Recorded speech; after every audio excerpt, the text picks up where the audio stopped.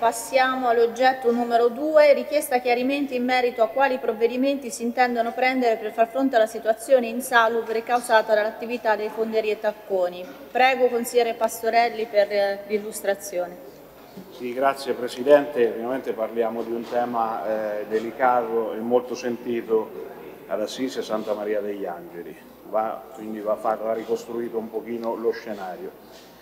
In diverse occasioni sono state avanzate richieste di bonifica dell'area delle ex fonderie Tacconi, sita in Santa Maria degli Angeli, segnalando nelle opportune sedi istituzionali preposte le varie problematiche ambientali che scaturivano eh, da un'industria insalubre di prima classe situata a poche centinaia di metri dai centri abitati limitrofi e dalla Basilica di Santa Maria degli Angeli alla Porzione. Considerato che nel marzo comunque 2019 su richiesta del sindaco di Assisi fu convocato un tavolo tecnico con lo scopo di esaminare la situazione ambientale e sanitaria dell'area delle fonderie Tacconi al quale parteciparono l'ASL, l'Agenzia regionale della protezione ambientale, il registro di tumori e la Regione Umbria, i rappresentanti del Comitato Prodomarti Francescani, una delegazione di cittadini residenti, gli amministratori delle fonderie e l'Associazione Medici per l'Ambiente.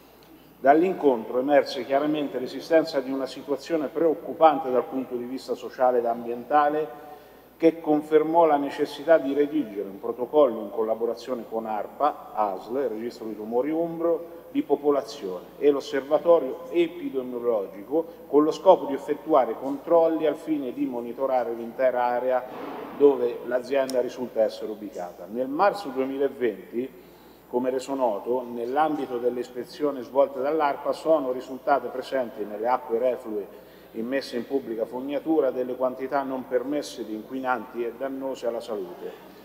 Altresì che nelle emissioni atmosfera si è registrato il superamento della soglia di concentrazione di emissioni delle polveri, tanto che la Regione Umbria ha inviato diffide riguardanti il mancato rispetto di queste prescrizioni. 30 agosto 2021 il sindaco di Assisi ha emesso un'ordinanza per fermare i cattivi odori vicino alle fonderie Tacconi su sollecitazione della ASL numero 1. I diversi sopralluoghi che ARPA ha eseguito per il tramite di postazioni di rilevamento delle sostanze organiche volatili posizionate in Santa Maria degli Angeli dal settembre 2020 al gennaio 2021 hanno rilevato che alcune sostanze organiche volatili monitorate abbiano superato i livelli di tolleranza olfattiva indicati da ARPA. Visto poi che con la deliberazione numero 184 del 14 settembre 2021 è stata approvata la mozione sulla delocalizzazione delle ex fonderie Tacconi, Santa Maria degli Angeli, piano di riconversione ambientale e rilancio intervento della Regione Umbria per riferimento di risorse necessarie che impegnava la Giunta regionale ad avviare un confronto tra le istituzioni di competenza e le fonderie di Assisi SPA, al fine di assicurare il perseguimento del connubio migliore tra salute e lavoro.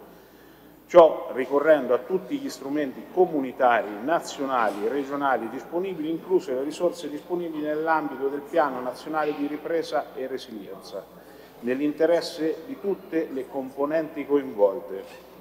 Ricordato inoltre che sempre ad agosto 2021 il sottoscritto aveva dichiarato come la presenza del sito produttivo a ridosso del centro storico cittadino rappresentasse una criticità da risolvere in tempi brevi attraverso l'elaborazione di un serio progetto di delocalizzazione e che connubio salute e lavoro avrebbe dovuto trovare pronta applicazione nella definizione di strategie svolte a salvaguardare le famiglie del centro abitato da fattori potenzialmente inquinanti, garantendo allo stesso tempo il mantenimento dei livelli occupazionali e il rispetto dei canoni qualitativi della produzione. Inoltre, nella stessa occasione, dichiaravo di aver inoltrato all'ARPA un accesso agli atti per l'acquisizione della documentazione rilevata circa l'eventuale presenza di fattori inquinanti in riferimento all'area interessata negli ultimi tre anni. Fermo restando però che la tutela del diritto alla salute dei cittadini costituisca per noi la priorità da tutelare, così come riteniamo vadano incentivate forme di attività economico-produttive che possano incrementare i livelli occupazionali e garantire il benessere dei residenti. Riteniamo altrettanto certo che al contempo la politica e le istituzioni abbiano il dovere di far rispettare le leggi regionali e nazionali vigenti in materia, nonché le direttive emerse da vari tavoli tecnici sino ad oggi istituiti e svolti. Si prende atto della difficoltà di realizzare la delocalizzazione delle fonderie, come da tempo richiesto. Nell'ultimo periodo sono sempre più frequenti le segnalazioni pervenute di nubi e depositi di cene nell'area interessata, segno di un preoccupante e maggiore livello di inquinamento dannoso per la salute dei residenti, così come testimoniano le foto che eh, ho portato, così come sono maggiori gli odori sgradevoli rilevati. Io vorrei farvi vedere una foto che circolava sui social dove si vede chiaramente, insomma, un, magari sarà stata una condizione climatica particolare, però questo si è verificato negli ultimi tempi.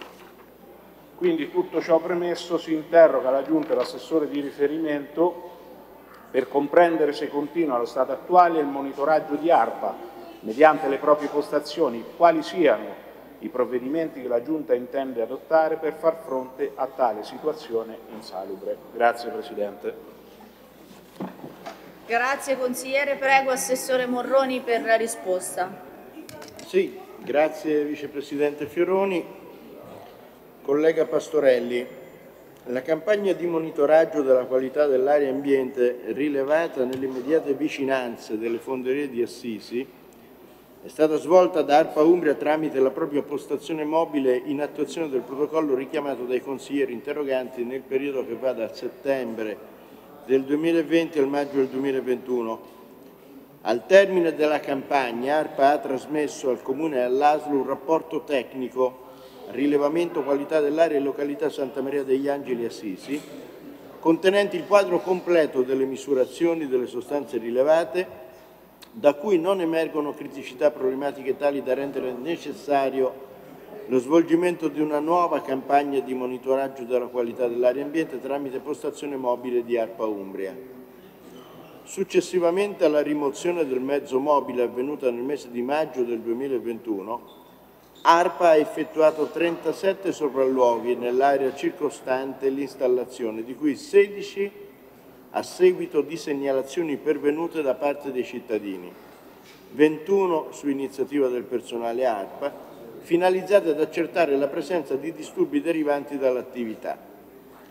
ARPA ha inoltre svolto tre campionamenti delle acque reflue industriali e due campionamenti ai punti di emissione in atmosfera, le non conformità emerse a seguito degli accertamenti richiamati sono state oggetto di provvedimenti di diffida emessi dal Servizio Sostenibilità Ambientale, Valutazione ed Autorizzazione Ambientale. Per i restanti mesi dell'anno 2023 restano ferme le attività di controllo previste dal piano di ispezione ambientale approvato con delibera della Giunta regionale la numero 1308 del 22 dicembre del 2021 e del conseguente programma delle visite ispettive per gli anni 2022-2024 approvato con determina dirigenziale la 13.516 del 30 dicembre del 2021. Rientrando le attività di fonderia nell'elenco delle industrie insalubri di cui al Regio Decreto 1265 del 1934, seconda classe, Restano ferme le competenze del sindaco da esercitare sulla base di comprovate e documentate esigenze di tutela della salute della popolazione interessata. La Giunta regionale non può che accogliere con favore l'ipotesi di delocalizzare l'insediamento produttivo fonte di innegabili disagi ambientali per la popolazione residente nelle immediate vicinanze e di significativo impatto paesaggistico sui beni monumentali di Santa Maria degli Angeli. Si tratta di una ambiziosa e complessa operazione di rigenerazione urbana di competenza del Comune di Assisi, pienamente legittima come recentemente confermato dal Tarre Umbria, che ha respinto il ricorso amministrativo presentato dal titolare dell'attività contro un permesso a costruire nuovi impianti, in particolare silos, rilasciato dall'ufficio comunale in ragione di una specifica previsione del nuovo piano regolatore comunale per una durata limitata a soli cinque anni. Ovi il piano di delocalizzazione richiesto dal Comune fosse presentato dalle fonderie di Assisi sulla base di concrete ipotesi di fattibilità tecnica ed economica, non mancherà di certo il supporto e il sostegno della Giunta regionale. Grazie. Grazie Assessore, prego consigliere Pastorelli per la replica. No, innanzitutto ecco, volevo ringraziare l'Assessore per eh, l'esaustiva risposta. Evidentemente questa interrogazione eh, ha un carattere comunque di equilibrio, un connubio tra la salvaguardia dei posti di lavoro, però altrettanto è primaria la salvaguardia della salute dei cittadini per quanto ci riguarda. Eh, le criticità ci sono, non ne nascondiamo, io non l'ho mai detto, ma abito a 500 metri, quindi le posso verificare tranquillamente diciamo, sulla, sulla, mia pelle, le assicuro insomma, che, che, non sono secondarie, una certa attenzione eh, va fatta. Eh, lei ha ricordato, Assessore, le competenze dell'amministrazione comunale di Assisi. Eh, è evidente che l'unico atto, perché mi sembra di aver capito che non, non c'è nessuna presentazione di ipotesi di, di localizzazione da parte dell'amministrazione comunale assieme alle fonderie. Quindi prendo atto anche di questa risposta. L'unico atto che fece l'amministrazione comunale, il sindaco Stefania Proietti, fu lei si ricorda bene quando fece quella, eh, quel provvedimento, ma stranamente a ridosso delle elezioni comunali, poi eh, è risultato inefficace eh, dal punto di vista eh, legislativo. Ecco. Eh, io dico, penso che le cose vadano affrontate con, con serietà, quindi eh, accolgo favorevolmente la disponibilità della Regione ad affrontare il problema e ci faremo carico anche per il tramite dei consiglieri comunali, purtroppo eh, siamo minoranza ad Assisi, ma per sollecitare l'amministrazione magari nel provvedere a un, un, piano che dia respiro e anche magari qualche dire, speranza sia ai cittadini che, che purtroppo subiscono e eh, all'azienda che comunque deve eh, poter eh, essere garantito il proseguo dell'attività in assoluta sicurezza per se stessi ma soprattutto per la salute dei cittadini. Grazie. Ora oggetto numero 7, consigliere Meloni interroga, risponde l'assessore Coletto, atto 1811, prego. Grazie Presidente, questa interrogazione ovviamente fa parte di un eh, progetto diciamo, un pochino più ampio che riguarda eh, la salute della donna su cui noi siamo eh, tornati più volte durante le nostre assemblee legislative eh, ragionando su quelle che sono le patologie anche invalidanti che colpiscono le donne e che fanno parte di una famiglia di disturbi molto diffusa, tra cui appartiene appunto l'oggetto dell'interrogazione di oggi che è quella della vulvodinia e della neuropatia del cubendo.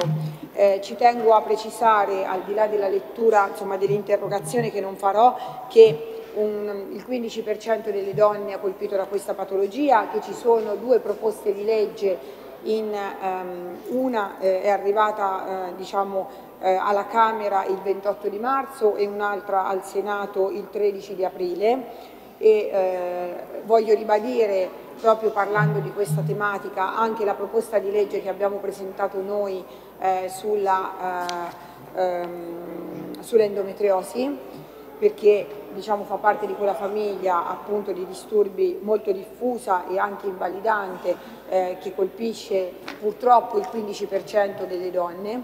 Ci tengo a ribadire che sarebbe importante eh, soprattutto la diagnosi precoce in questi casi. Ieri abbiamo avuto la fortuna di partecipare ad una bellissima iniziativa organizzata dal gruppo consigliari delle Marche dove appunto si parlava dell'importanza del eh, sostegno, supporto e anche della riqualificazione dei consultori anche come luoghi diciamo, deputati a eh, arrivare in anticipo sulla diagnosi di alcune patologie, tra cui appunto queste eh, il consultorio pubblico può essere davvero un, punto, un primo punto di contatto per le donne che ancora diciamo, non l'hanno scoperta. Su questo tipo di patologie, la vulvodinia ma anche l'endometriosi, siamo in ritardo nella diagnosi dai 4 ai 5 anni, quindi spesso anche nelle donne in giovane età quando arriva purtroppo la diagnosi già sono stati manifestati tanti sintomi, è diventata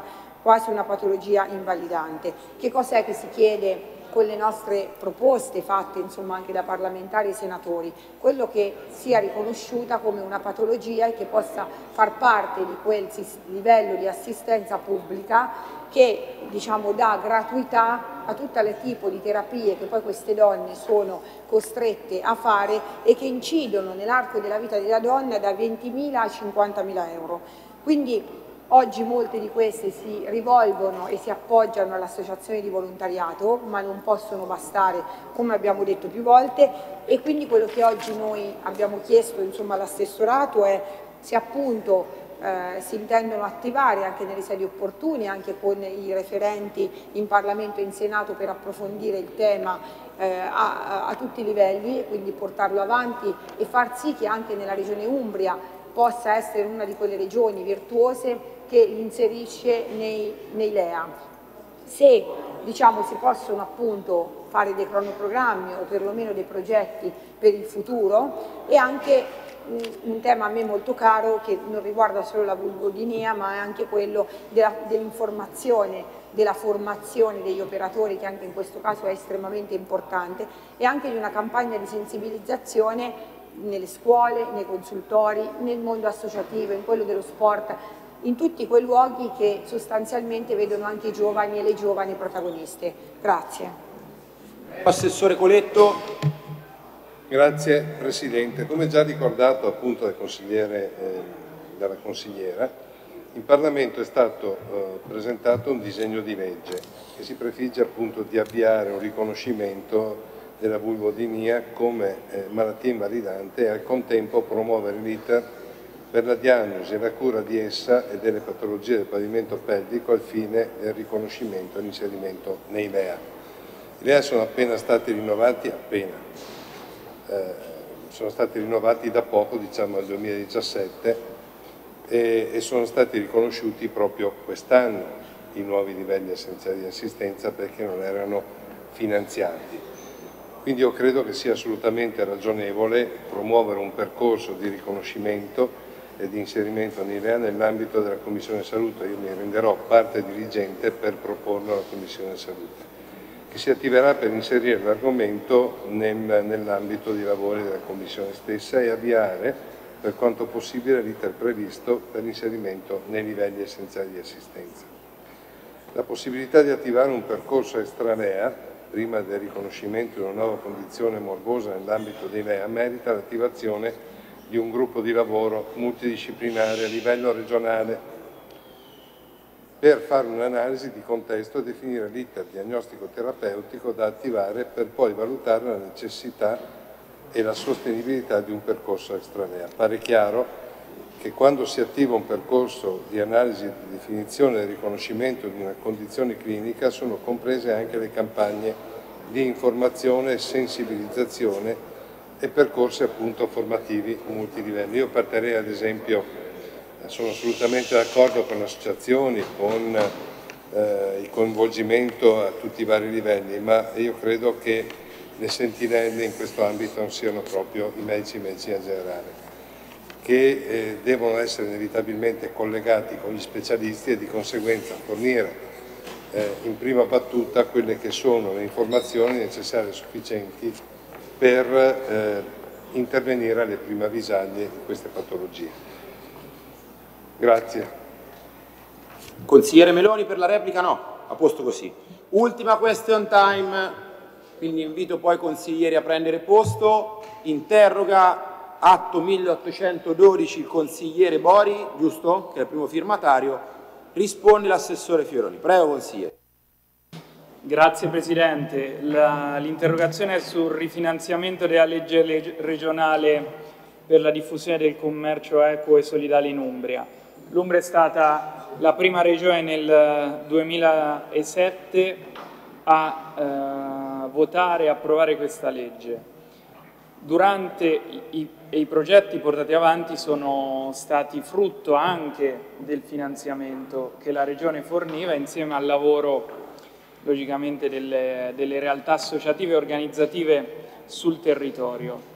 Ora, a partire dal vostro bilancio 2021-2023 ha deciso di non rifinanziare questa legge, tutto questo è una scelta eh, della Giunta T6 e eh, realtà come altro cioccolato, ma anche come tante espressioni nei vari territori, rischiano di saltare. Il mancato finanziamento è stato oggetto di numerosi atti, le, durante il bilancio abbiamo proposto delle modifiche per tornare a finanziare questa legge, abbiamo presentato interrogazioni sia scritte che orali, noi oggi siamo qua perché le organizzazioni eh, hanno invitato il 18 maggio la Presidente della Giunta, l'assessore che ora parlerà e tutti i consiglieri regionali a eh, rifinanziare la legge. Eh, questo atto è arrivato a tutti noi e siamo qua a chiederne conto alla Giunta sui propri intendimenti, se si intende continuare a non finanziare una realtà legata a un'idea di commercio più equo e giusto oppure se ha cambiato idea e intende tornare a finanziare questa legge. Grazie. Professore Fioroni. Sì, eh, grazie Presidente. Io risponderò come ho risposto all'ultima interrogazione, eh, cercando di eh, evidenziare come la legge sul commercio equo e solidale del 2007 faceva riferimento a un contesto storico molto diverso da quello attuale. Viviamo un'epoca, una stagione della storia in cui i casi di sfruttamento sono sempre più individuabili e grazie anche a proprio alla multicanalità, ai social media, ogni comportamento scorretto è più trasparente, punibile e sanzionabile dai poi consumatori che devono fare scelte consapevoli di consumo.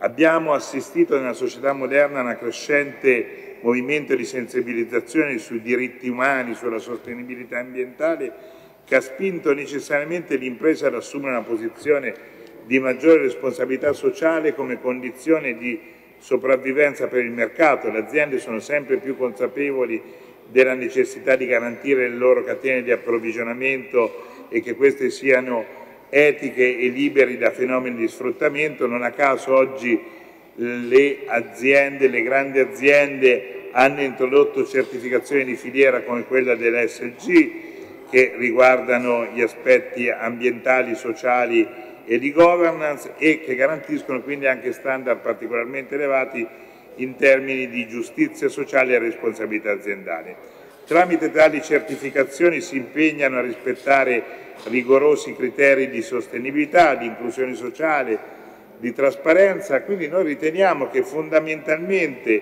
il nobile principio che stava alla base della legge che era stata introdotta nel 2007 sia un po' venuto meno, ciò non vuol dire che bisogna abbassare la guardia perché non, nonostante i progressi fatti esistono ancora sfide da affrontare nel commercio, per quanto riguarda gli eventi e manifestazioni possono anche trovare in altri canali di finanziamento quello a cui molte manifestazioni si appoggiano e su cui i fondi regionali sono aumentati la loro fonte di sostentamento tenendo conto che le risorse sul bilancio dello sviluppo economico sono limitatissime tolte eh, i fondi FES che non possono venire utilizzati a tal fine e dovremmo fare delle scelte per finanziare questa, questa legge di togliere risorse al mondo del commercio, dell'artigianato e anche della cooperazione.